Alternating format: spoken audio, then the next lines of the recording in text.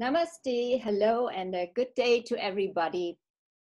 We are happy that you joined us for our sixth edition of Organic Webinars, a series hosted by BioFach India and uh, created by BioReporter International. Let me shortly introduce our team, and that is Sandeep Kamat, based in Bangalore. He's board member of IFOAM Asia and convener of India Organic Network ION. He was active in the organic sector for more than a decade as a consultant, founder, speaker, or organizer of events, and much more. He's especially dedicated to the biodynamic ideas and philosophy in the international community. Hi, Sandy. Yeah, thank you, Karen. And that is Karin Heinz, based close to Frankfurt in, in Germany. Uh, she has been in the organic sector now for almost 40 years. She studied agriculture and also had worked on a biodynamic Demeter farm. She's world-renowned. She's a world-renowned organic journalist, photographer, a videographer, and always inspired by the ideas of the worldwide organic movement. Thank you, Sandeep. So, dear audience, with the organic webinar series, we would like to update you with the help of international and today only Indian experts on uh, important topics from the organic sector. So today we will focus on success stories from the Indian organic industry. Please listen to six industry leaders in the organic sector, our esteemed panelists. Hi to everybody. We will learn about exciting business models from Terra Greens Organics, Soul Trees, Sresta Organic for 24 Mantra brand, Bio Nature Biofoods, and Radico and PGS Spices. So Sandeep and me, we have the honor to guide you through this program. We have 90 minutes ahead with uh, a lot of information, discussion, presentations, and uh, hopefully a lot of questions of you. So, but first, let me introduce Shivakumar Venugopal. He's Group Director and member of the Management Board of Nuremberg Messe India Private Limited, and he will give us his welcome note. The screen is yours, Shivakumar, please. Thank you. Thank you, Karen. Hi. Good afternoon, uh, everyone from Nuremberg Messe India. It's a pleasure to welcome you all on the occasion of our sixth webinar in the series organized by Nuremberg Messe India. It is a great pleasure to have you all for today's topic on how to sustainably grow your organic business. Learnings from the journey of successful brands. Again, organized by Nuremberg Messe India under the ambit of BioFach India, India's largest exhibition for the organic sector, which is being organized with an aim of bringing various domain experts together to address the key issues of sustainability and healthy living. Of our sincere thanks to APEDA for their continuous support in organizing BioFach with us. I now take the honor of introducing our esteemed speakers for the day. Ms. Uh, Likitha Bhanu, CEO, Terra Green Organics, Mr. N. Uh, Balasubramaniam, CEO, Sresta Natural Bioproducts Limited, Dr. Thomas Jacob, Advisor, PGS Organic Spices, who will be joining us in some time, Vishal Bandhari, Founder and CEO of Soultree, Mr. Rohan Grover, Director, Nature Biofoods, Sanjeev, Mr. Sanjeev, CEO of Radico. Welcome you all, and a warm welcome to our moderators, Ms. Karin Heinz, founder, BioReporter International from Germany, and Mr. Sandeep Kamath, board member, IFOAM Asia. I also thank our supporting association, ICCOA, the International Competence Center for Organic Agriculture, OFI, the Organic Farming Association of India, AIOI, the Association of Indian Organic Industry, and our media partner, Pure and Eco India, for their continuous support. Before I hand over the floor for today's discussion to Sandeep and Karin, I would like to make an important announcement on our BioFach India 2020 show. The 12th edition will be organized in a digital format this year from October 29 to 31st by Nuremberg India. The current pandemic situation has forced us to go digital and the We Go Digital edition will offer comprehensive presentation options and year-long networking, community building opportunities for the industry. this digital event will be held under the aegis of Agriculture and Processed Food Products Export Development Authority, which is APEDA, under the Ministry of Commerce and Industry, which would aim to e-connect all the key players from the organic and natural industry over a single platform. I request all of you to mark your calendar for our first digital show in the last week of October and looking forward to e-meet before we re-meet. Now, the floor is yours, Sandeep and Karen. Thank you. Thank you. Thank you very much, Shivakumar. And very exciting news about the digital event. The first time we have such a large organic exhibition going online. And this will be dear participants for the year long till the next uh, physical event for 2021. So it's my pleasure to introduce our first expert, a super successful young lady from Hyderabad. She's inspired by the work of her mother. It's Likitha Bhanu, the CEO of Terra Greens Organic. She's trained in Harvard and Stanford universities, and Likitha holds a passion for sustainable lifestyle choices. And she believes food to be an integral part of it. She's actively involved in uh, spreading awareness about making right choices not only for ourselves, but also the environment that we live in. She hopes to contribute to the sustainability movement at scale. Dear Likitha, tell us about your organic story. I'm looking forward to your presentation. Please, the screen is yours. Thank you, Karen. Um, thank you so much. Good afternoon, everybody and uh, it's my absolute pleasure to be here and to present and to be a part of such an esteemed panel. Um, so, like Karen mentioned, Terra Greens came about as a result of my mother's passion for farming. Back in 2012, when um, I graduated from college and came back home, um, she was farming in our family lands and growing vegetables. And she would force us to eat all these vegetables that she was growing. And um, so we thought that it's time that we solve the problem and not uh, eat so many vegetables. So just started Terra Greens actually came about as a small vegetable delivery service in uh, Hyderabad. Uh, in fact, uh, we drove down to a store which was uh, right across the road and we asked them if they would stock organic vegetables and they said yes.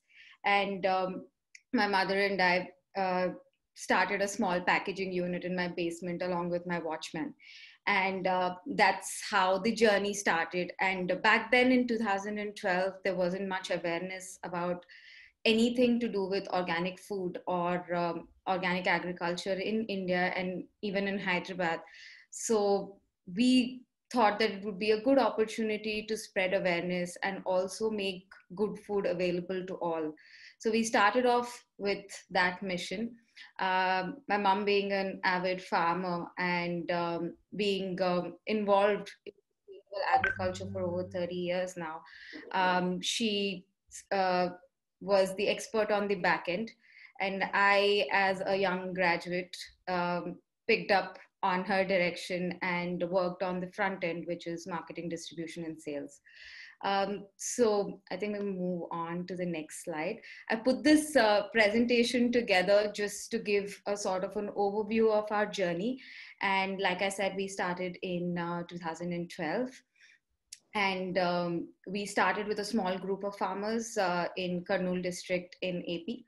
And uh, we moved from a small packaging unit to a much larger one.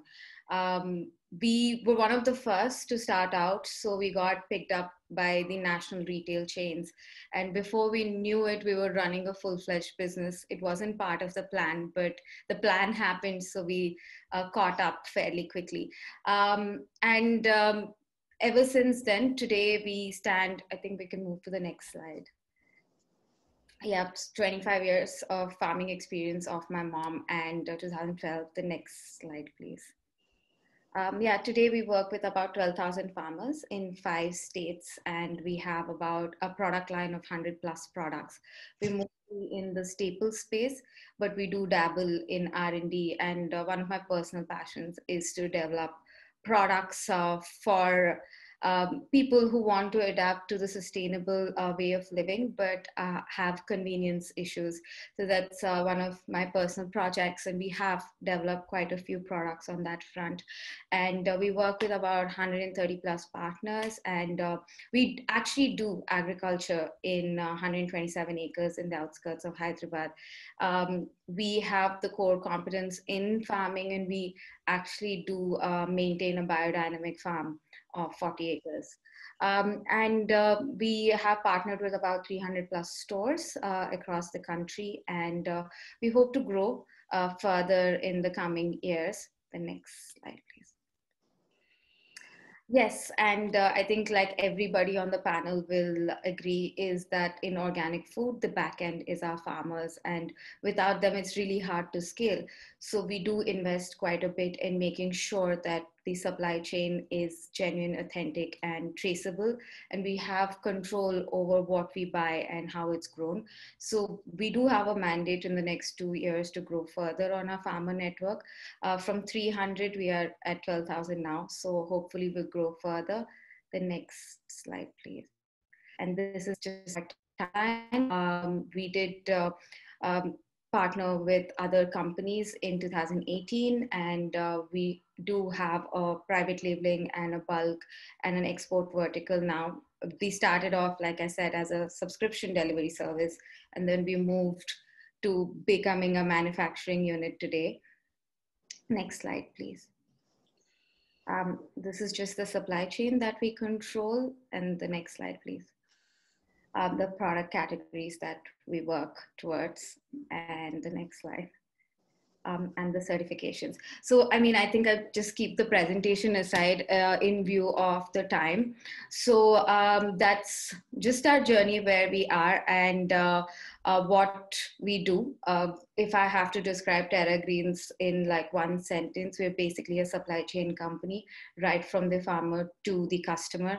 Last year, we also dabble into retail. Uh, we started our own store and then we park modified trucks around the city uh, under the brand name Green Station. So uh, we hope to work throughout the supply chain, uh, right from the farmer to the end consumer, and we work with a mission to provide good food to people, um, good for the farmer and for the planet. Um, that's about it. Thank you so much. So much for that wonderful presentation. Now it's my pleasure to introduce Vishal Bandhari, the founder and CEO of Soultree, which is India's first uh, BDIH certified natural and organic Ayurveda cosmetic line. Uh, Vishal left a uh, well-paying job in the Merchant Navy to start his own enterprise as he was deeply influenced by the Earth Charter, a roadmap to actualize the goals of sustainable development. And this led him to explore different ways where business can contribute to sustainable development. And his encounter with NGOs and women farmers in the remote villages of Uttarakhand was his starting point of his journey. Vishal, the screen is yours. Hi, uh, thank you, Sandeep. Good afternoon, everyone. And uh, thank you very much to IO Reporter and, of course, Nuremberg Messe for giving me this opportunity to present my journey. Uh, I think I would just briefly, as, as they still say that a picture is worth a thousand words, I will very briefly convey my journey uh, uh, of building Soultree. I think it's also um, a journey of not only my individual personal journey, and at the same time of also how an organic business moves up, has moved up the value chain, and today, you know, ultimately culminating in Soultree. So I, a, I, it all started when I was looking to uh, create a business which could con- contribute to sustainable development, something which I was very interested in. And that's for me, the starting point came in uh, when I traveled to Uttarakhand and uh, when I was looking for a you know, somewhere to begin and be able to start something which could ultimately contribute to society, to uh, but also in a for-profit way. So uh, that's where I uh, came across farmers who were uh, practicing organic farming. This is about 2004, 2005. Can you move to the next slide, please? Yeah, and uh, what I uh, encountered there was that while, while, of course, organic farming was being practiced, but because of the remoteness, because of uh, you know the distance, there was a disconnect from the market. There was a disconnect from the consumer as well. And I found felt that this was a place where I could make a difference. I could you know contribute, and uh, it came out of understanding their problems and their challenges and also identifying what would be the strengths. And I think this was important to really not to go and impose my own views, but to really understand that what could be done in the environment that I found myself in. So next slide. So what I uh, what we understood was that since Uttarakhand, you know, of course, the higher reaches, the Himalayas is a place which has traditionally been uh, the home of let's say Ayurvedic medicinal plants, and I felt this is where we could actually work together. Uh, one, of course, because uh, it gave a higher premium because one of my objective was to uh, support livelihood generation. And I felt that medicinal plants would be a niche category which could be grown and started uh, working on what kind of plants could be grown and how we could take them to the market and in turn build a sustainable demand for the farmers and most of these farmers were you know uh, women farmers and uh, of course they have very small land holdings and that was one of the challenges. And we kept all of that in mind while developing the model from these villages. Next please. So after uh, you know uh, moving forward in terms of the cultivation of ayurvedic plants and then subsequent processing and exports to the international market we also looked at how could we value add to these medicinal plants uh, so that there could also be a, a secondary livelihood generation. And that uh, involved uh, the local NGO and together we worked together to set up a small uh, unit for processing of these medicinal plants and convert them into supplements. So of course I was supporting and the NGO provided the infrastructure. And uh, this as a result, we were able to, you know, take also directly to the consumer. So in that sense, this was the first step to move to add value for the local uh, producers, but also move closer to the consumer, and which has been what I have tried to do throughout. So uh, from there, we uh, so one of the challenges was keep the demand sustainable because the farmers, you know, once they got encouraged, they would grow and you cannot work next time. I'm going to buy next year, but following I won't. But after that, you know, we said that how can we continue to demand? I think idea was we create a, a dedicated market for the produce that was coming and how we're taking it to consumer. That of the ideas was to also process the herbs and uh, make them into uh, complete consumer consumable products. So next slide, please. So, uh, so of course the uh, the while of course there was a case, I thought of uh, going into a completely uncharted territory, which was beauty and but at the same terms of developing products which could uh, outcome of that was that uh, since of course i had grown in a environment of let's say organic certifications my natural inclination was to create products which could be again certified. And that's what led me to uh, the BDIH standard. And we worked to develop products to bdi standard. Next product slide please. And the outcome was a range of Ayurvedic organic beauty products, but also certified in this case from uh, BDI Germany. So this is how the brand looked like when it first came out. And uh, you know, the I think the there was a lot of work to how to communicate the core values of the brand to the consumer. And I think this has also been one of my uh, let's say important learning, which I will share briefly. And uh, we were continuously, you know, learning and understanding that you know how do we uh, give confidence to the consumer? How do we, uh, you know, educate the consumer?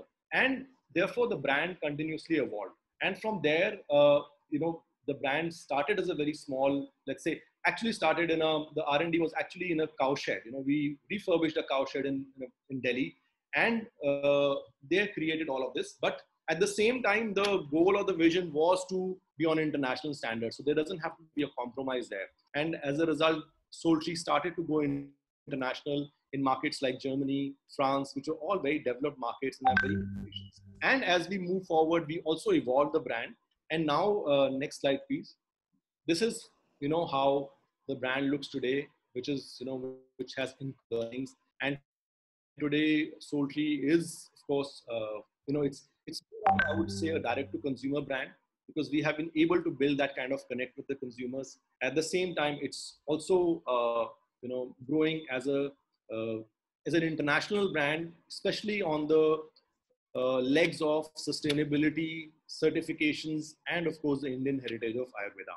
So uh, this is briefly my journey. Uh, of course, limited time, so not to go into anecdotes and other experiences or the pain points. What I would like to quickly share, since I understand that you know there are uh, quite a few uh, entrepreneurs already here, or there are people who are wishing to be entrepreneurs. I would say there are three things that I kind of can share uh, from my own experience. One is that you know an organic uh, products business is a long haul. It is not that something that you know you just can build overnight and uh, you know get out after you know a couple of years. It is it takes time because there is learning and in and especially if you're the first ones you have to do all the learning by yourself. But in today's time there is learning available more easily and I think I would encourage everyone to you know reach out to others and uh, maybe learn uh, from their experiences or also uh, you know you know like not to reinvent the wheel so as to say. The second part which i feel is that in an organic business the role of the founder is very important because essentially the uh, you know the founder ends up becoming the spokesperson both internally and externally. And this is what i felt that even within my company i had to be the spokesperson encouraging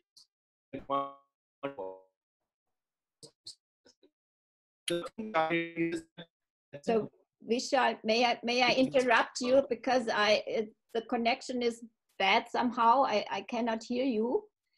Oh, but sorry. we have a discussion uh, round later on, and so I think that's uh, good to have these uh, key takeaways also later. Yeah, may I? Yo, perfect. So, and hopefully then the connection will be better so now it is my uh, pleasure to welcome um, Bala. I make it short because the other name I cannot pronounce. so he is the CEO and uh, director of um, Sresta, 24 letter mantra brand. And he's uh, since a very long time uh, active in the industry. So he's uh, an agriculture person who is uh, with uh, more than 30 years experience and he uh, created a lot of um, very important brands in India. So he's, uh, his strength and his work philosophy is uh, to work intense on a brand marketing and he was very successful in this space. So we are excited uh, to hear more about your organic journey, Bala, and looking forward to your presentation. Please. Thank you. Thank you, Karen and Sandeep and uh, Messe for the platform. Uh, good afternoon, everyone. Ravi, if you can share. Yeah. So I represent uh, Sresta is the name of the organization. Uh, 24 Mantra is the brand name. I'm happy to see there are more than 130 participants. Um, so I, I, think one of the more familiar brands in India uh, in the organic food space. Okay, next slide, please. Yeah. So I think one of the, uh, let's say, big things for us is when uh, in 2004, Raj, who is the founder uh, and a friend, he's kind of thought of organic. There was nothing called organic in India.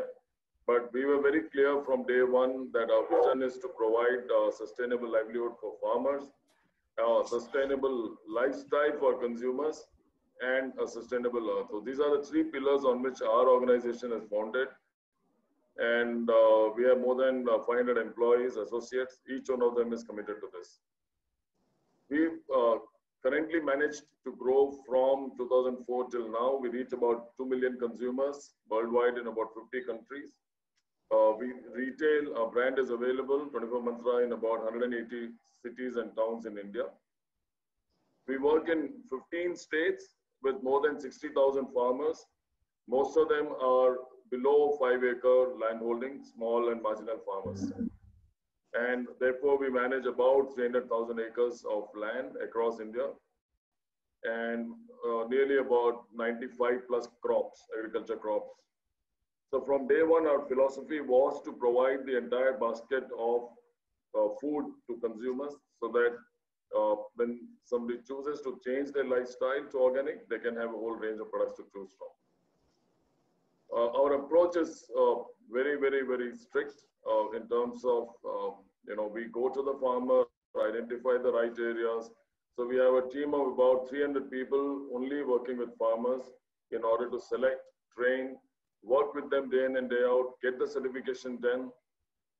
We have multiple checks. Like I said, we export to 50 countries. So, I mean, obviously, over the last 15 years, we've had no issue at all because we take a lot of care in the farming practice to storage and processing. Uh, obviously, we get certified for uh, India, Euro Europe, so NPOP and NOP, which some of you may be familiar with. So we are certified for all uh, markets, all countries.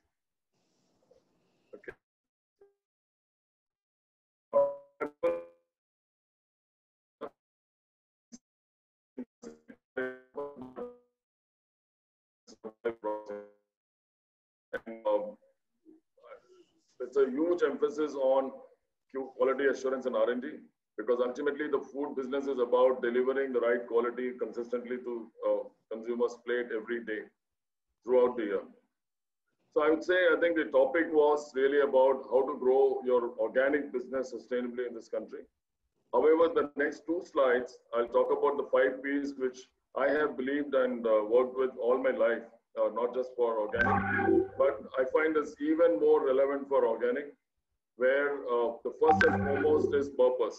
Uh, today, there are many people who uh, have kind of tried to brand and sell organic food without really, uh, you know, having a lot of clarity on the purpose. But I think very important for somebody to build a sustainable business is to have a clear purpose when you are getting into organic food business. Second is people. Uh, and we are very, very particular about the kind of people who select and we work with because they are the backbone. They do the work of ensuring organic integrity and taking the brand forward. Uh, passion, because again, I mean, this is a business of passion. This is not a business for us. This is um, commitment, and therefore people need to be passionate about what they're doing. And perseverance, because uh, like some earlier, uh, Vishal also said, it takes a long, long time. It took us the first seven years just to cross a 10 crore business in India. I mean, it's just a huge struggle in the early days to set up. And then purity, right? I, I think that's uh, one thing where even before the laws became stricter, etc., we are very clear that we will, the brand in an organic space, everybody who's in that space needs to ensure that what you're delivering is what you're promising, which is your uh, certified organic food. Uh, next, please. And then the five C's, right? What we found, uh, in fact, was when the early days, people used to tell us 2005, 6, 7, 8, 9, 10, all these years, why should I trust you? Why should I trust you as a brand? Because we were the only brand in India selling organic food. And the first step, therefore, is to create that trust. And this goes back to the piece of purity. And then talking to consumers and converting. Because it's a business worldwide where advertising doesn't work. So you need to really work hard to convert every single consumer with your product offering, with your commitment, with your, uh, you know, uh, consistency. And that's what we believe uh, as a brand, uh, since again, the subject is about growing the business and the brand. The brand 24 Mantra doesn't over promise. We don't say that you switch to organic, you will become better, healthier, livelier, whatever. Because we talk about basic food, we talk about what's better, but we don't over promise. So build a consistent image and quality and therefore clear communication. So in, in last 14 years, we have not deviated from our core communication of uh, being farm to fork and delivering good food to consumers. And the last but not the least is, it's a tough one because you're creating a new category. You're not actually just selling one more product. You're not creating one more business. It's about changing mindsets. And essentially in food and in India and many other parts of the world, changing food habits is one of the toughest uh, jobs on hand. So you are creating a category and therefore you need to be really, really uh, persistent and pers have a lot of perseverance to get this accomplished. uh, that's it from me. I think um, I've done well on time. Yes, you have. Thank you. Thank you, Riyabala. Perfectly on time. And uh, thank you so much for that wonderful presentation. And we know now how a market leader thinks. So uh, we would like to play you a short video before we have a quick poll for you. So Ravi, can we have that video? And we have many questions while Ravi is playing the video in the question answer box and you can, and in the chat as well. Uh, so I will be showing the digital edition of the BioFach India. Many of you want to look for promoting your products uh, to meet uh, leaders like who are here on the screen and they will be available there doing more sessions at our conference and throughout this uh, uh, event. So please participate in the Digital India event Uh, of BioFach India, which I will share very shortly after the video from Ravi. Ravi, may we have the video, please? Thank you.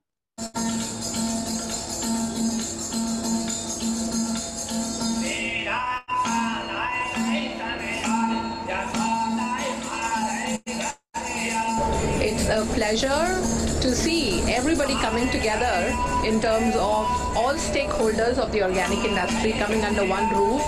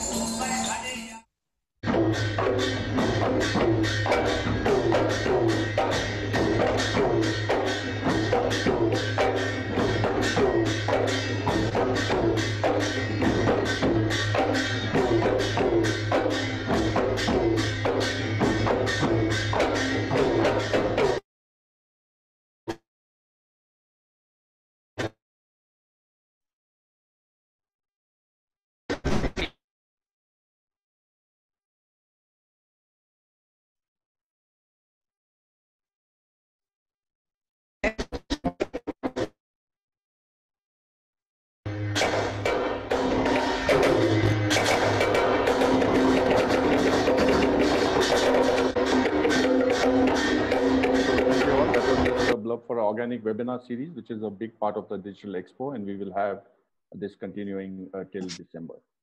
So uh, quickly, we'd like to get a quick feedback from you. We would like to know what you think is the growth potential of the Indian organic market.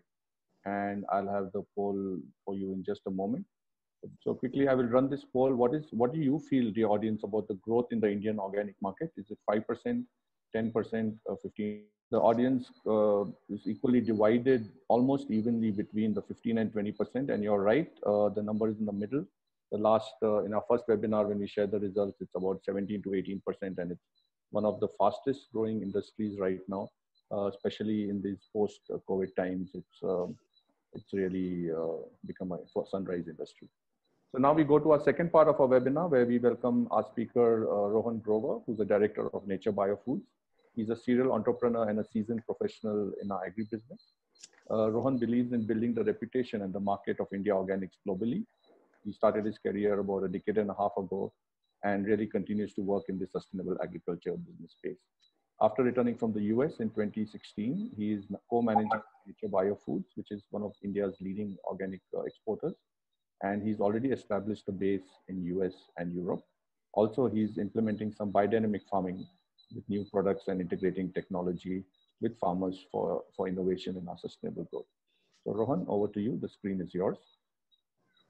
Thank you. Good afternoon, everyone, uh, uh, friends and partners from India and uh, Europe. Thank you, Sandeep. Thank you, Karin and, Nuremberg Messe for having me here. It's such a pleasure to uh, be on this panel. I will be talking about uh, our journey as Nature Biofoods, a little bit of background about Nature Biofoods, and what has worked for us over these years uh, that we would like to share with you. So we are uh, a part of uh, LT Foods. LT Foods is a leading rice-based company started by our chairman, Mr. V.K. Arora in 1963, which has a very valuable and popular brand called Daawat uh, basmati rice present in about 60 countries uh, across the world uh, and also as a brand royal basmati rice which is a very prominent brand in the us in the rice segment Nature Biofoods started its journey about 25 years ago in 1993. Again, uh, uh Mr. V.K. Arora pioneered it and uh, started off this journey. Today, we have our operations in Europe and US where we believe to have a complete control on the supply chain where we work our, uh, as a base in India and take our products to US and Europe and deliver it to the doors of our partners. Uh, in terms of philosophy, uh, fortunately, we have now a legacy of about 25 years, which where we have only seen the passion grow, uh, leading to a deep-rooted connection with about 60,000 farmers and about 350 of the people that are associated uh, in the company in Nature Biofoods. We have a mission of uh, being a global leaders in delivering authentic organic ingredients to the world of consumers by practicing sustainable techniques of supply and production that secures a growing future to all the members. This mission is very well embedded in uh, all of us uh, at our company across the world, and uh, we've been following the same mission uh, throughout. Uh, the vision of the company is to lead the organic ingredient supply chain with a strong focus on sustainability and finest processing output as we stand today, uh, uh, we are uh, we work all the gray shaded areas in the states that you see on the map of India here is where we have some other, other projects. We have about 115 projects where we work with about 60,000 farmers over a land of about 18,000 hectares. And on an annual level, we process close to about 100,000 metric tons of uh, grains uh, in across our five uh, facilities in India so uh, while the the journey has been for 25 years we believe that essentially there are about five basic principles and mantras and not 24 but five where we believe that uh, are uh, that have worked very well for us and i believe it should work for everyone in the industry and uh, for for me to start uh, the first one very close uh, to my heart is, is working very closely with the farmers a strong focus on agriculture and farming we have been consistently giving right inputs and technology and working with the farmers that have worked really well for us. And it's a very important base to start having a very close connection with the farmers. Second, very important is while you are a part of this movement, you also have to make an impact on the planet and the people and everybody in the supply chain. So very strong focus on the sustainability would be a very important part of, uh, of having and starting this journey. Third is uh, is, is the compliance. You are you're doing a lot of stuff on on the ground in the field. You're you're doing a lot for the environment, but if you're not compliant, it will not be recognized. So having a very strong uh, uh need of understanding compliance is very important for this business. Understanding the market and the opportunities. It's uh, so what is happening in the world, how the trends are changing is very important to know, and that's what we understood uh, as we go along and very effective supply chain. So these are the five key things that I believe have worked for us very well. so facilitating the organic supply chain, we work very closely with the farmers. We give them fair prices to the farmers. We give them advisory services. We give them improved input supplies, organic premiums, and buyback supports.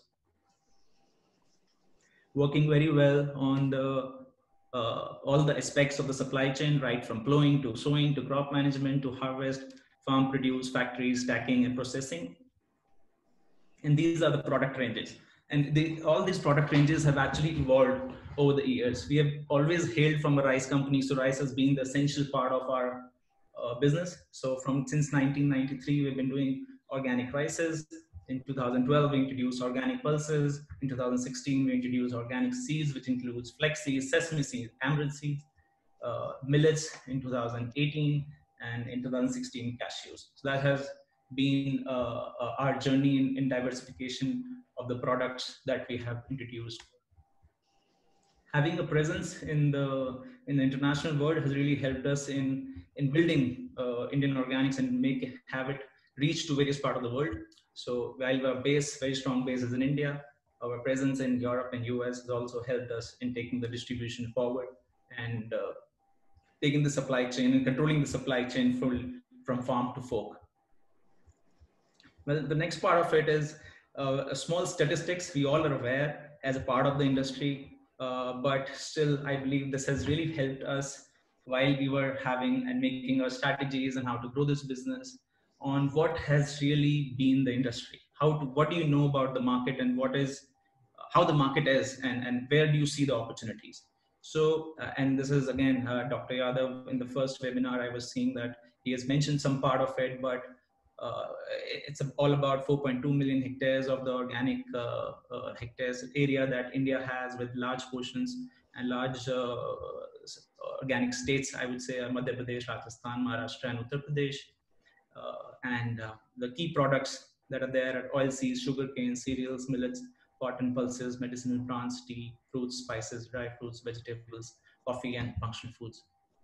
So how we have seen the category has grown in the last three years. This is a very important, uh, I would say, a playground for all of us to understand how, where the opportunities lies today. Uh, in 2017 and 18, as we have seen the market of Indian export of food or the grains and cereals, and that's the category we are in. So we were always focused around these categories. There are about 438 million US dollars worth of exports that were happening. So starting from rice, about which was about 10% of the overall exports, to other oil seeds, to flour, to soybean, to, to soy, soy meal, sugar, tea, coffee, lentils, nuts, Ayurveda products, fruits and vegetables, spices, and others. If you look at how the category has, how the exports from India has increased, it has increased from $438 million to $653 million. And if you look at the year, the last year, I don't know if you're able to see the screen, but this has reached to about 757 uh, million dollars with a change of all the category splits. So understanding these trends have really worked well for us. And uh, organic is no more just a product which is free from pesticides and chemicals, I believe. It's, it's a lifestyle. It changes every week, month, and daily, and, and the trends, and you need to be abreast with everything what's happening. Some of the key uh, products, how they behaved in last three years, if you see uh, some of the categories where we have always uh, followed them. This is rice, other oil seeds, soybean. Uh, if you see the soybean that has drastically uh, come down in the industry as an export, but if you see soya meal, it has drastically increased over the three years. So understanding these opportunities and, and, be there at the right time has really helped us and should help everyone in the industry. So uh, these are certain facts that we can always use to understand which pro uh, products and uh, categories to choose in. In terms of geographies, uh, a very important part of how we see that uh, the, the, factors and the mantras that have worked for us is understanding the market and where the market is. So uh, in the 757 million US dollars worth of the business that are exported out last year, North America is about 57%, Europe is about 34%. And uh, the key products in North America is soya meal, soya bean, other spices becoming very, very big uh, there. And in Europe, it's about tea, coffee, soya meal, seeds, and uh, sugar. If you look at uh, how we classify this as a market as a food market and a feed market. So the grains and food and the food products that go into the feed side of the business, they are into feed, uh, the where we have multiple grains which are going to the consumers and adults, and we classify them as food. So what we have seen is in the overall export that has happened last year, food is about 61%, feed is about 39%, and if you look at, I don't know if you are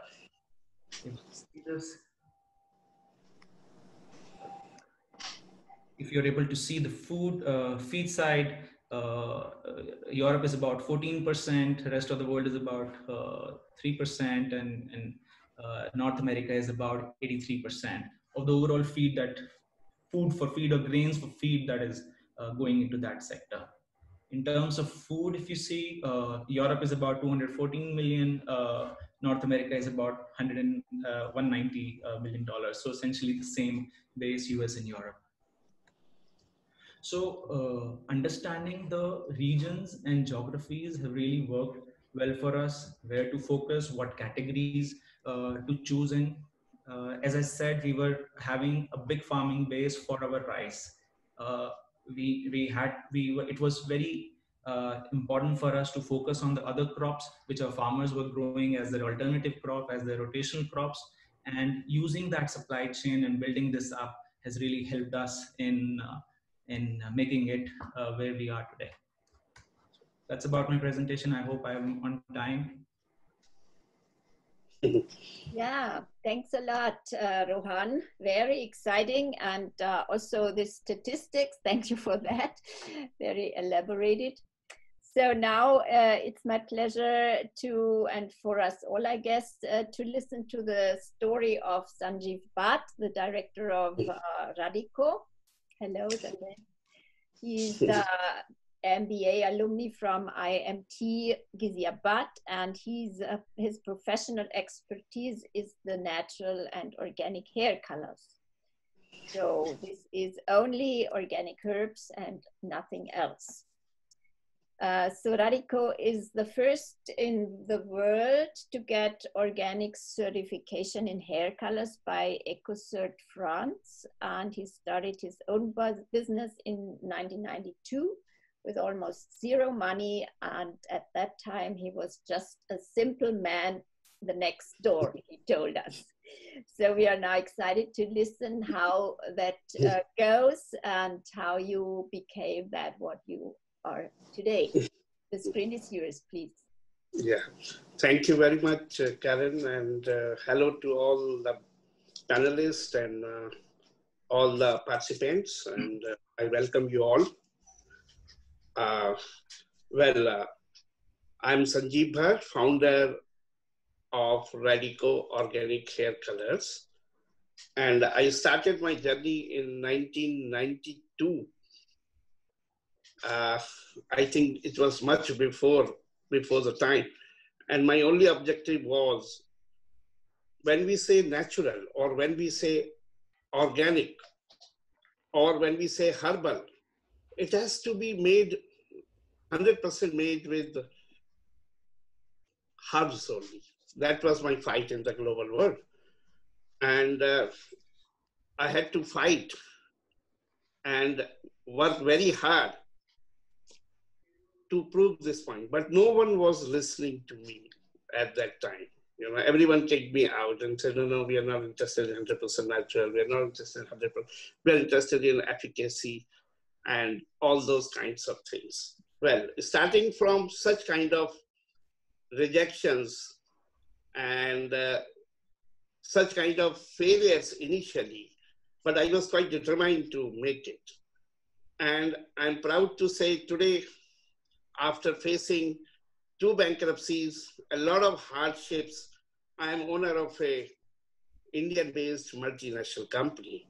And my brand is available in 100 plus countries. To be very honest, I stopped counting after 100.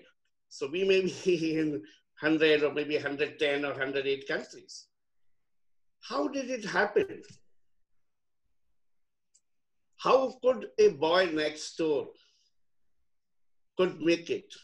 And that too in globally in 100 countries, more than 100 countries. And with the utmost satisfaction of the buyer.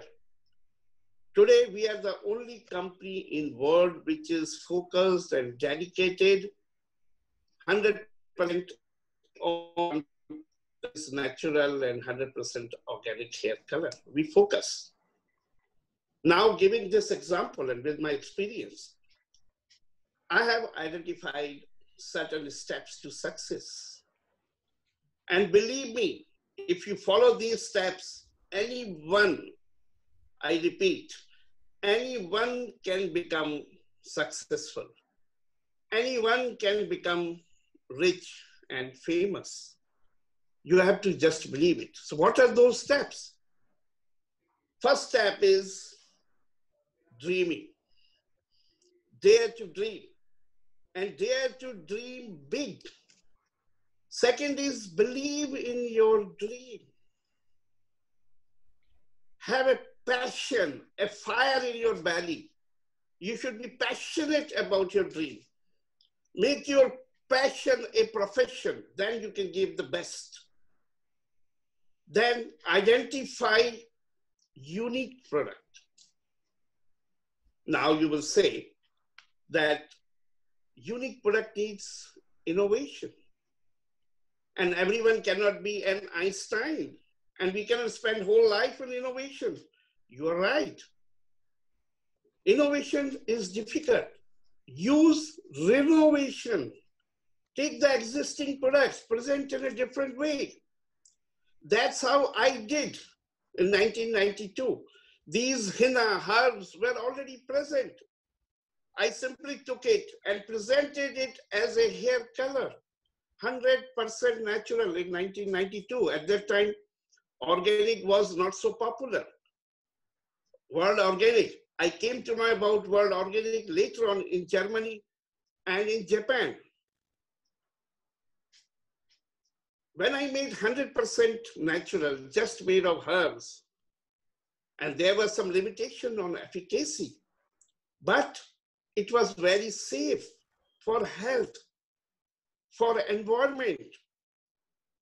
Second point is when you choose a product, it should be unique. Well, you can use innovation or a renovation. Then it should be safe for body and health and also for environment. Thirdly, you should be honest and ethical. Even if there is a limitation on your product, tell it to the world. Like there was a big fight when we were labeling our product. My marketing team said, sir, we should say all the good, good things. I said, no, mention it on the label that this is 100% natural color. It may even not give color. Everyone laughed. I said, no. And I was very adamant. And when I introduced with these kind of things in international business, international market, first in Japan, followed by Germany, and everyone highly appreciated. And my marketing team and all those who were laughing on me, it became a new trend. And everyone said, company is honest. They're telling clearly the limitation of the product. But I said, it is safe for your body, no side effects, no allergy, and very good for environment too. You know? And that was highly appreciated. Third thing is focus. You know, I focused and I gave my whole life only on 100% natural or 100% herbal color, which is pure, honest product. There is no additive, no synthetics, no hidden ingredients, no direct or indirectly. I prove that this is organic or natural or something like that. Pure, honest. And it was sooner or later highly appreciated. I used to say there are certain limitations. It cannot give efficacy as 100% chemical colors. Its retention is also less, but it is safe and healthy. And people slowly started accepting that. My first business, I started with Japan. Fortunately or unfortunately. Why I say unfortunately? Because Japan was very tough nut to crack. I kept on sending 17 samples over the period of two years, and in a row, they kept on rejecting it. Make it more efficient, make it more perfect, because Japan expectation of quality was highest in bird. I almost cried, but never gave up. And I was determined to improve it, send it. And thanks to Japanese too, they were determined and they never refused. And they kept on checking, checking. 18th sample was accepted. And then after that, no look back. Today, they are still our buyers and we are doing business in millions. You know? And my first order was just for 240 US dollars. That was my first order for first natural hair colors. Another important point, well, you have a unique product. It is safe and sound for health and uh, environment. You are ethical and honest, but how do the society and the people believe? How do they believe? You may be honest, you may not be honest. There may be some hidden ingredients which are not natural or organic. Well, there comes the certification. You should get your product certified with the top-notch certifying companies of the world, which are trustworthy. I came to know about organic in Germany.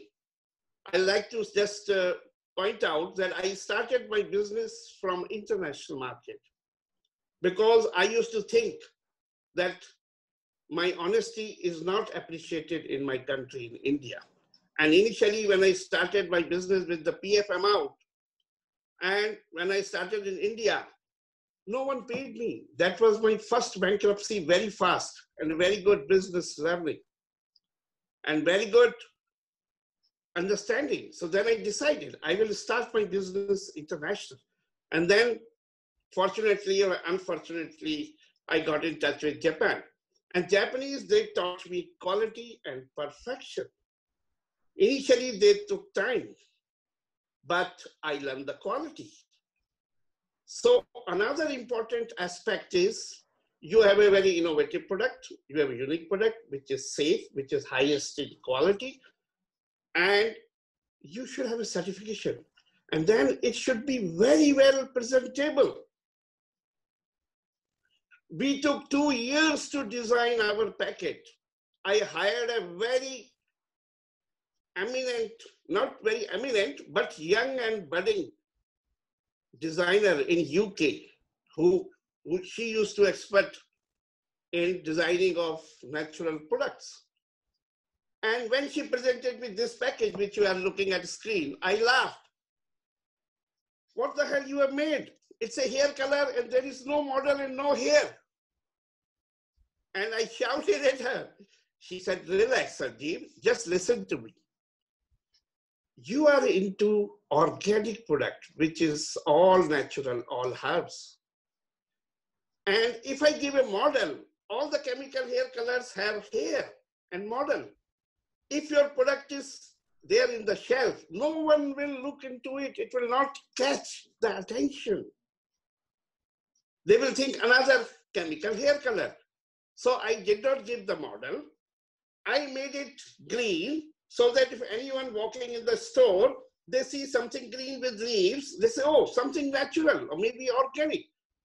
Then they get attracted and they walk towards the shelf and they see the first word, which is which is most bold or in the biggest letter is organic. And it catches their attention. Second large word is hair color. And then they say, oh, it's hair color. I said, wonderful. And I accepted immediately. And today it is highly appreciated in 100 plus countries. So what is the lesson? Please give your best, focus. And whatever best you can give on one product, give full attention. Now we move on uh, to last but not the least, uh, my dear friend, Dr. Thomas Jacob, who's the advisor to PGS Organic Spices, the largest organic uh, exporter from India. Uh, he uh, has started uh, his career in academics. He was the head of department for the medicinal herb division in Kerala, in a leading university in Kerala. And then after a decade and a half, he was with the Spice Board as a director. And there, you know, one of the things we are very grateful to him for was to introduce biodynamics. You know, he did one of the first trainings of biodynamics with the spice board with many small farmers. He was always passionate about working with small farmers, very passionate about innovation, and he brings all this into PDS. So I, I, work with him on many projects together, and I'm always inspired by him. And one one more thing is he's very passionate also about Vriksha Ayurveda. You know, he's one of the few people in India I know who's really made a study of it and doing a lot of experiments and promoting this ancient Indian agriculture also in, in Kerala and parts of India. So Dr. Thomas, over to you. Thank you, uh, Sandeep, uh, Karin, my uh, Ravi and the guest of, uh, you know, rest of the BioFach uh, India group. In fact, uh, PDS feel it very, very honored to share the platform with, uh, you know, the leaders in organic, you know, organic from India. I'm so, we feel it very fortunate. Uh, in fact, uh, just to uh, introduce ourselves, we are an NGO, uh, non-government organization called as Peermade Development Society. And under the Peermade Development Society, uh, PDS Organic Spices is one of the largest. And uh, just want to correct um, Sandeep, we are one of the largest in the spice sector, not the largest with the whole panelist sitting around. But we are so proud to be a part of uh, uh, the export for or promotion of organic from India. In fact, we are. This is where we are. uh, so we started at 1980 as an NGO, and our challenges has been that that time is where the green revolution was going on in India, and our founder is a priest and present, uh, or rather, just reserved uh, uh, bishop, Mathew Arackal. He visualized that this sort of agriculture is not going to sustain in a very sensitive Western Ghats, which is supposed, to, which is one of the uh, biodiversity hotspot in the world. So if we are going to practice sort of a green revolution sort of thing, it's not going to be sustained. So that is the basis in which we started on. And our vision has been that they may have life and have it abundantly, which means that life is not only human life, the entire life around us is called as life, whether it is plants, animals, the microbes, uh, the whole system, we call it as life. And fortunately, that is what we are now gaining the uh, advantage of. Then uh, we started uh, organizing the small farmers uh, right from there. And then we found that there is no more organic, I mean, there is no market for any sustainable during the 80s, mid 80s and mid 90s. Uh, so we started, went into the first organic certification program in spices. And uh, from uh, 1998 onwards, we started spices to all around the world. And uh, we have a network of very small group of around 3,000 farmers working, and we are adding on more and more farmers are getting uh, interested in. And uh, we are always, as I said, top in the export of spices. Can I have the next slide, please? Yeah, this is our reach everywhere. Uh, the small, you know, organization sitting in the heart of, uh, or rather in the Western Ghats, uh, have been having a whole reach. The advantage we are having and the pride we are having actually it is the small farmers you know who produces around 50 to 100 kilos of material or spices are being uh, thrown all around the world and you know that is one of the satisfaction my farmers have uh, and that is our satisfaction that we are able to support the farmers in reaching to the global market can you have the next slide please yeah and this uh, this you have to look at it we only deal with spices and that too from our uh, uh, center of origin. That is wherever the, the, the, the, spices are from this local area. We don't, we are not looking at any diversification of spices into your basket because that is goes around, around, amount, uh, you know, beyond our uh, origin of, uh, you know, center of origin. So we are very particular that we produce and, uh, you know, and sell and export materials that is from originated from that area originated and suited to that particular ecosystem and uh, and also to the soil and the environment. Uh, so everything we take into as a holistic view uh, and not on the crop wise. So this is the basket of uh, you know crops we have in Western Ghats and that's what we are uh, exporting. Next slide please. And uh, you have a you know this is the certifications we have and as you said, the left green one with all the national certifications from the all the uh, countries which we want I mean mandatory. Then we have all the uh, you know private labeling. We have as uh, you know Sandeep was saying, uh, we are the first to do started doing Demeter certifications and uh, and all the private labels we have. So all these certifications are customer driven, not that we make the certification and ask for search for a market. If at all a customer requirement as per that, we just go on the certification and this is the spread of the certification. And you know, the managing a, a group of farmers, small farmers is the average is one hectare. Don't have any any small farmer above one hectare. So such a service-oriented organization in the world class with the entire processing is consolidated and processed as the PDS organic spices we are in the world class, uh, uh, you know, uh, certification for the processing as well. Next slide, please. And as everybody was saying, I think the works out to be same. As far as we are concerned, the sustainability is based on three pillars we always develop. And one is having the trust of all the players in the supply chain.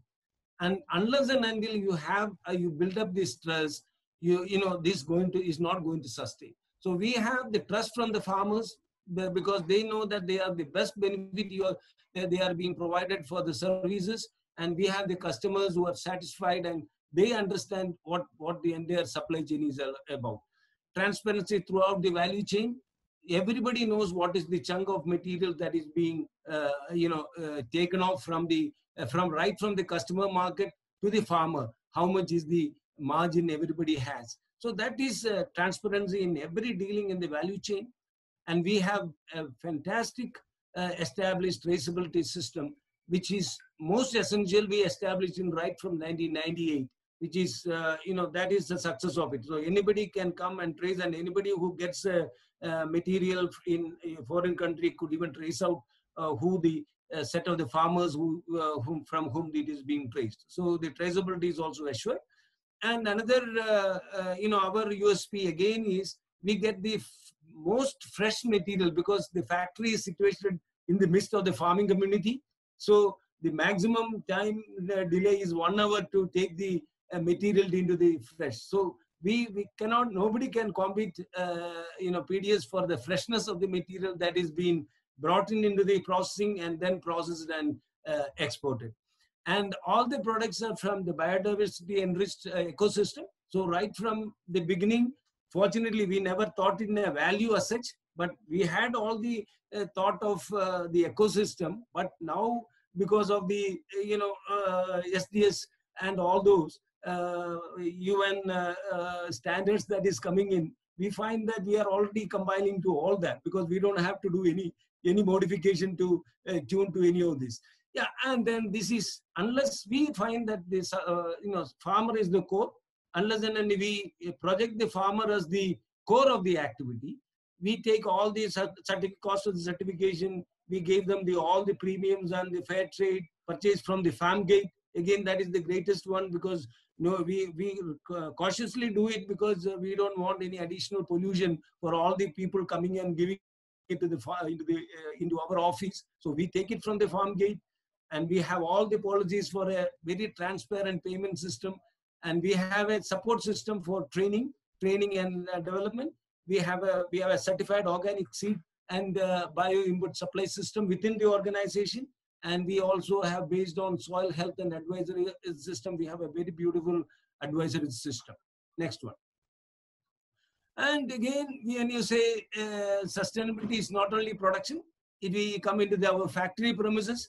The entire rainwater of course kerala gets a beautiful uh, you know 250 centimeter or uh, you know 2500 millimeter of rainfall. It's all being stored and it is utilized for our entire processing. So we actually, it is a water neutral processing center. We don't, uh, you know, our, when you look at the budget of watering, we are zero, you know, we don't have any balance or we have only excess of uh, water stored and we use the natural energy for most of the time. Uh, it is not 100%, but our solar drying, so you use your solar energy and probably in the, in the coming future, the entire processing will be from the solar energy processing unit. That's what we are aiming at for another two, three years time. Next slide, please. Next slide, please. Yeah, I mean, this is whatever uh, from the farm to the export and retail, you find the entire supply chain quality and every material is steam sterilized. So uh, all uh, values have been added into the uh, into the food safety aspect have been taken into the aspect uh, you know in our supply chain. Next, please. Next, please. Yeah, and uh, you are 95, 98% of us was exported. But then so much of uh, growth of organic within the country, and there is a lot of pressure for us to supply. So we have also gone into the retailing for last three years, and it has been really going exponentially with all these, uh, you know, supermarkets taking our uh, brand uh, all around. So that is uh, a good indication where how um, organic is growing within the country because I, we were only looking at the export market. Now it has come into the country and there is a great opportunity. Next slide, please. Yeah, our learnings. All our activities, since it's an agriculture uh, commodity, it has to be farmer centric. And the farmer has to be because they are the lowest and most suffering lot of people. I mean, our biggest challenge is to keep the people in farming. So unless and until we address the farmers' needs, that cannot be happen. And then why most of these times I felt that schemes are government schemes or other schemes are being, uh, you know, was a failure. Basically because they need an institution to handhold farmer from uh, farming to the marketing. So unless and until that is being done by an institution, they, you, you have a break in some of those uh, supply chain, it collapses. And uh, another uh, great learning is that you always align with the global changes. So you need to predict what is happening five years, uh, you know, ahead in what is happening in the global. And if you can tune accordingly, you will be in the right time to be, you know, into the global as well as in the domestic market. As a trust and transparency, as always everybody said, and adapting to climate change and recognizing ecosystem services because we do a, quite a lot of ecosystem quantification. You know that even our small farmer, we know I, I we have recorded how much is the carbon stored uh, by each farm through the, the trees. So we have a very good uh, climate change and uh, you know ecosystem service system already in place, and that is also a very good uh, selling point. And we also work with a lot of uh, uh, customers like women. And what our policy here is ecology. What ecological action we do to bring in economic uh, benefit to the farmers, especially the women community. So what we do is that this is vetiver grass. Most of you know that. Vetiver grass, we use it for, uh, you know, as a soil binder to re reduce erosion. But when we, we take the grass, the women group, we have trained the women group, they make baskets. And this is our, uh, you know, entrepreneurship with the women. They make the basket. We sell it out with uh, as a gift box. So there is an economy coming into the ecological action we take. Thank you so much for the time. I think, uh, hope it is clear. Thank you. Yeah, thank you. Thank you so much, uh, uh Dr. Jacob. Uh, we have many, many questions here and uh, we don't know if we'll be able to do all those in time. So we will put the email ID, the audience, where you can post your questions, but we'll just, Karin and I will now try to kind of summarize the general trend of the questions and we will ask our panel. And then also, dear panelists, we'll also like a few takeaways uh, about this webinar, about this topic, uh, what you feel. Uh, so shall we start? we'll start backwards now, which we went. We'll start with you, Dr. Thomas Jacob. Now, what you said about TrueBio in India. Uh, what what are the key one or two things what people should know about building a brand in India, and and what is your takeaway now for new people who are coming in uh, into this industry? How how should we do it uh, better, sustainably? I my uh, you know biggest take, takeaway is that uh, uh, it has to be transparent, traceable, and there is a trust between everyone in the church. This is what what I felt is to be the basic. So it is a it is it is a long term process. It cannot be built in uh, one day, as uh, many of the speakers said. We have to pursue on this based on this principle. That is one side. And if you are working with a farmer, focus on the farmer and we actually, uh, uh, the institution, we take farmer technology. We never, uh, we have a program called, called as land to lab. We never bring technology from top and try to put it on the farm in the farm level. We take the reverse side. We take the you know uh, uh, learning from the farmer, try to integrate the modern technology so that farmers is co comfortable in adopting it. These are the two takeaways I think I would I would have in this uh, session. And definitely the organic is growing. And uh, uh, again, organic is not just pesticide free. You need to know that it has to have the biodiversity. You have to have the spices had the benefit of uh, having an immune, especially after COVID, the demand of spices have grown so much because of the immunity and health benefits. So I think the health benefit wellness need to be uh, promoted in the organic much more. Thank you. Thank you. Thank you, Dr. Thomas. Karin, over to you. Yeah, thank you very much. So, uh, Sanjeev, uh, you already told us a lot about your passion and how to uh, install a brand successfully. Uh, can you tell us a bit more about the traceability of your value chain? So, where do you source and do you work directly with farmers? And uh, is that one of your also uh, concerning to your business strategy?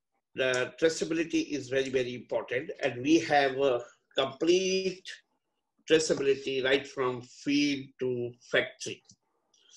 And initially we started, organic is here to stay. It is not a fad, fashion-oriented drive, no. All naturals will convert into organic and it's a very huge market going to come. 100 plus farmers have been united with us and uh, since we are very ethical, and uh, we try to give them the best possible prices, highest possible prices. It's a win-win strategy. So everyone wants to join us. Thank you. Thank you so much uh, for that uh, input. And uh, Now, Rohan, over to you. You know, this you shared very well in your presentation about these international markets, and now you know with this COVID impact on the supply chains, how has it impacted you now? People who are growing their businesses now in this post-COVID era. Uh, what are your? How did you guys cope? Any suggestions? And then again, after that, just takeaways on this webinar on the whole topic about building brands. Uh, Sandeep, like I uh, say this to all my colleagues and friends, the only good thing that has happened in this whole pandemic is that uh, everybody has uh, become more aware of what they're eating and where their food is coming from. That has really helped us.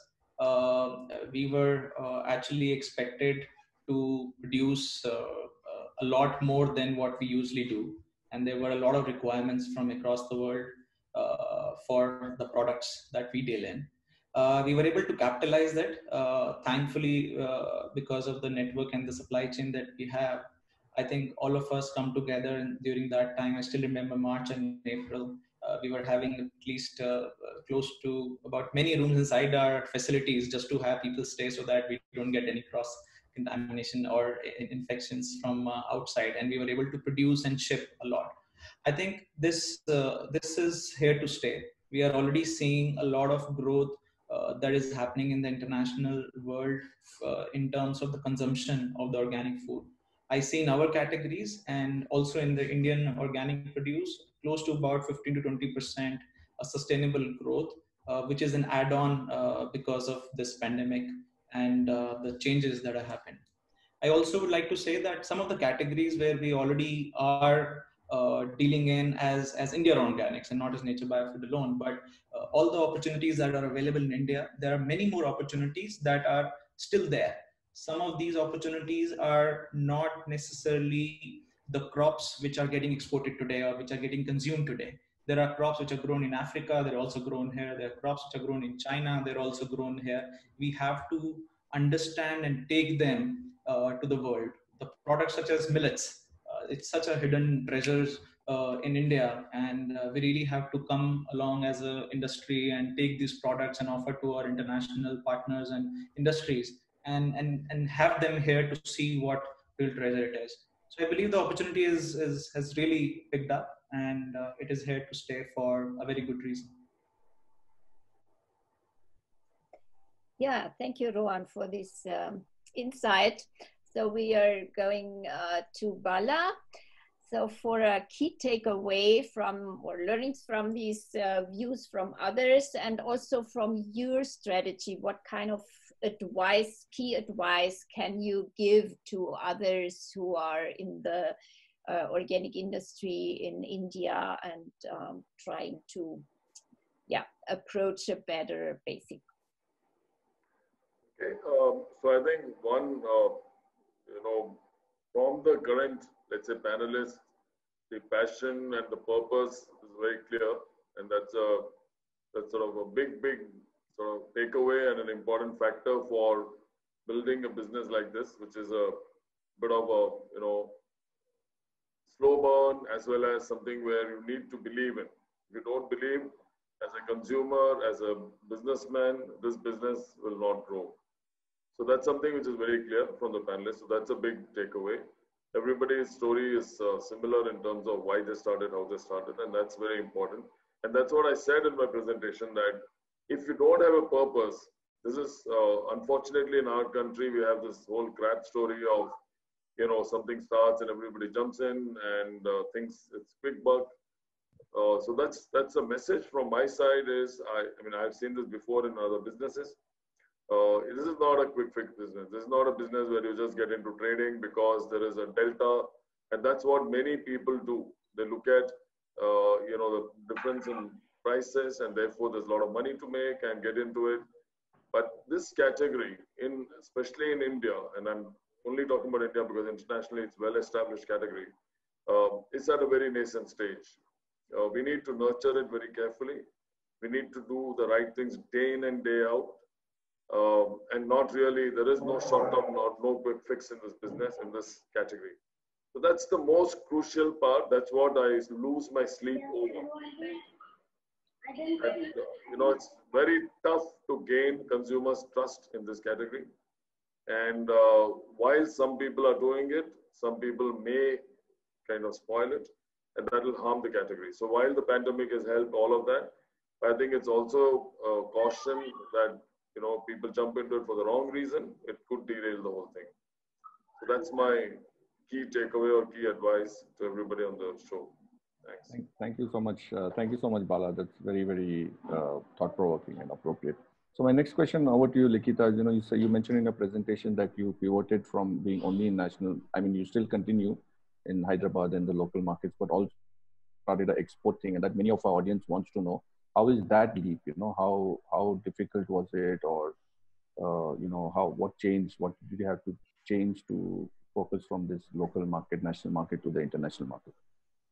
Um, so we have always been domestically inclined because we wanted to create a brand in the market, and uh, we've always uh, wanted like a main revenue stream has come from and still comes from uh, uh Terra Greens as a brand but I think, uh, you know, like everybody else on the panel has uh, pointed out, uh, considering uh, the fragmented supply chain of the organic sphere and how we need to constantly work on building um, a supply chain wherein we are working with the farmers, the processing units, and our packaging units, we have to start creating markets for everybody. And the pace at which the domestic market is growing and also the value which the domestic market gives to our produce sometimes the balance is not right. And that's the reason we did get into the uh, bulk private labeling and the wholesale market just to make sure that we persevere through the time. And um, so export for me particularly was a very very new segment. Um, i had to build uh, the sales team and also like even working with other businesses because our focus uh, was always on retail. Um, we never wanted to be a bulk or a private labeling player. Um, so uh, the shift happened gradually. I think we're still trying to uh, get our foothold, but I've um, um always uh, it's always helped to be transparent. It's always helped to have control over the supply chain and also be um, honest with capacities and capabilities. So um, that's helped us. Um, we're still very, very new into the export market. I still have a lot of things to learn. And uh, very rightly pointed out um, is people, you know, it's, I think to get the key people on board um, to trust, to delegate is also something that I've probably learned in my entrepreneurial journey. And uh, hopefully, the export vertical uh, comes up and um, contributes to the business. Thank you. Thank you, Likitha, so much. Yeah, um, that, yeah. Over to you, Karin. It, uh, I wanted to finish with Likitha, but yeah. started with Likitha, but okay. Hmm. So now I'm uh, last but not least, uh, over to you, Vishal, dear friend.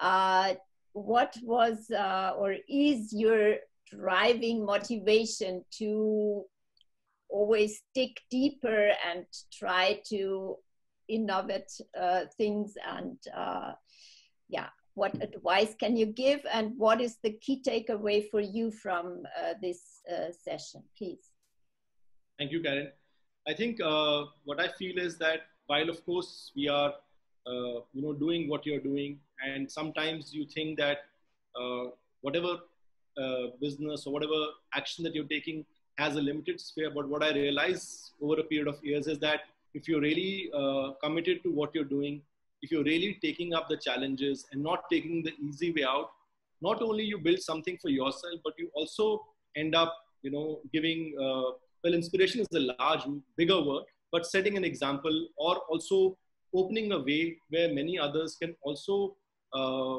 you know, believe that yes, it's possible to, you know, to do this. That's yes, it's, you know, you can stay honest, you can stay true, and at the same time build a successful business.